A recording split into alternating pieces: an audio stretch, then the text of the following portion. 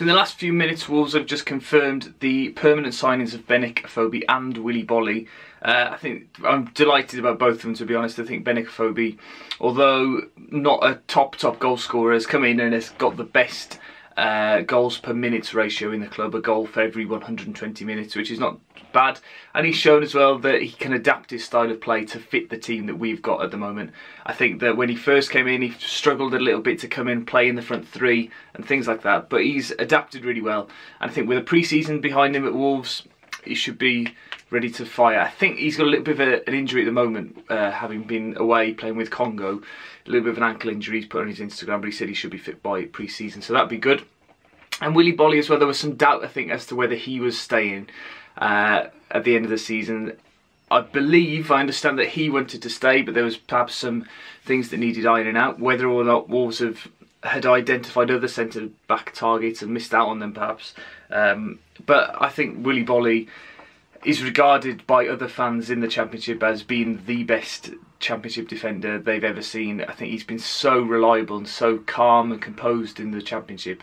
It hasn't looked like he's been trying. And when he moves up now into the Premier League, you do have to feel like he'll be at home there and he'll be tested a little bit more. He'll have to concentrate a bit more and try a bit harder.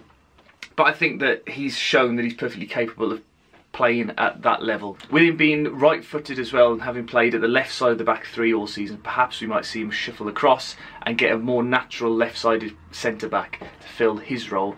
Or I could see the back three pretty much staying the same for the start of next season. I think Ryan Bennett has got a decent chance of starting in that right side of the three.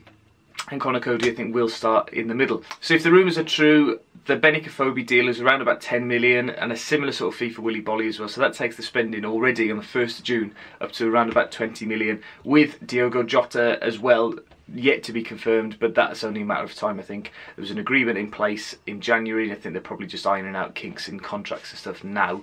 So that would take it up to 30 odd million before even we've brought any new players in. So it's a very, very exciting time for the Wolves. I predict that we're going to spend between 80 and 90 million this uh, summer. I think that it'll be a massive gamble and a massive risk, but the the calibre of players that we've been linked with are certainly ones that are not going to see us struggling down the bottom of the table. They're going to see us pushing, certainly for mid-table, if not the top six. Uh, as well, the Rui Patricio rumours have rumbled on this morning. There have been reports that he's trying to, or he has cancelled his contract with Sporting Lisbon, having been accosted by the chairman, I think. Um, so he wants out of Sporting Lisbon, which would mean that he would be available on a free transfer. So one of the best goalkeepers in the world, linked with a free transfer. However, with him going on a free transfer, it then opens the doors to every club in the world, and he would have his pick probably of where he wants to go. Unless there's some sort of link with Wolves which has led to him wanting to get, get out of his contract. So yeah, as predicted, June, the wheels have started turning now and things are starting to happen. I think Wolves will make another couple of signings over the next couple of weeks before the World Cup starts and then we'll see what happens over the World Cup.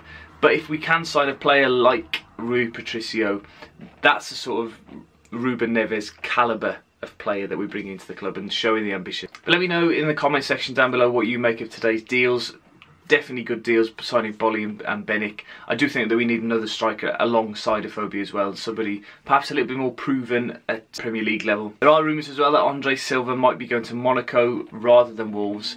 I mean, why would you choose Monaco over Wick Marines? But again, that's not confirmed, so we'll wait to see what happens there. Thank you very much for watching. I'll see you again next time. Bye-bye.